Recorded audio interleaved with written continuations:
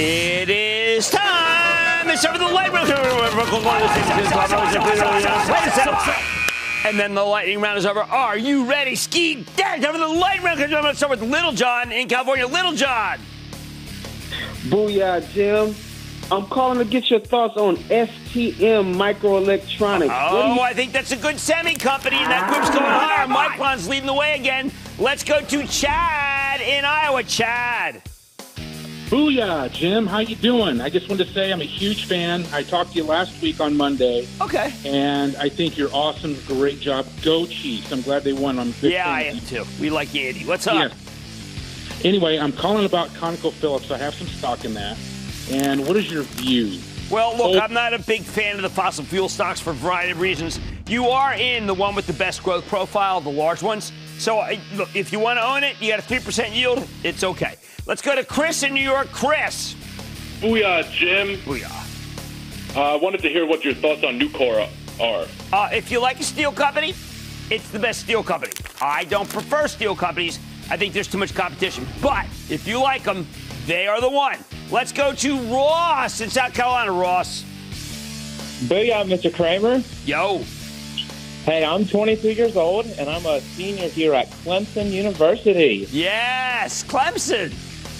Yes, sir. And I want to give a shout out to my dad and Aiken. There you go. That's a good shout out. So, uh, my stock has growth uh, plus a great yield, and it looks ready to capitalize on the rollout of 5G. So, the stock I'm calling about today is Crown Castle. Oh, that's a good one. You're absolutely right. Tower stock, T-Mobile with a terrific number tonight. Uh, I think you're in good shape. Let's go to John in California. John. Hey, Jimmy Chill, man, all the way here from Seal Beach, California. Listen, decades plus call watcher, uh, first time caller. Okay. Hey, NIO.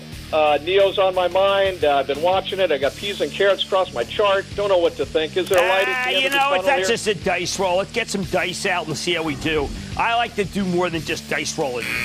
Uh-uh. Let's go to Brienne in California. Brienne.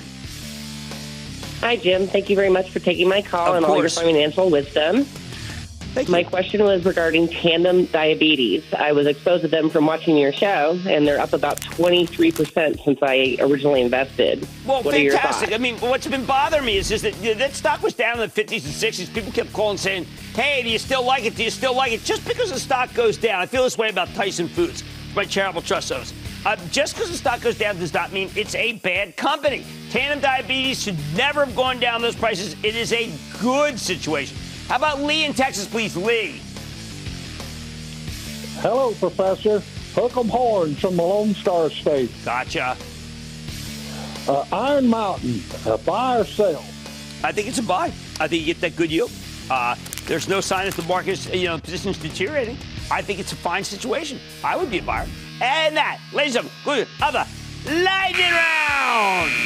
The Lightning Round is sponsored by TD Ameritrade. Don't miss a second of Mad Money. Follow at Jim Cramer on Twitter. Have a question? Tweet Cramer. Hashtag mad tweets. Send Jim an email to madmoney at cnbc.com or give us a call at 1 800 743 CNBC. Miss something?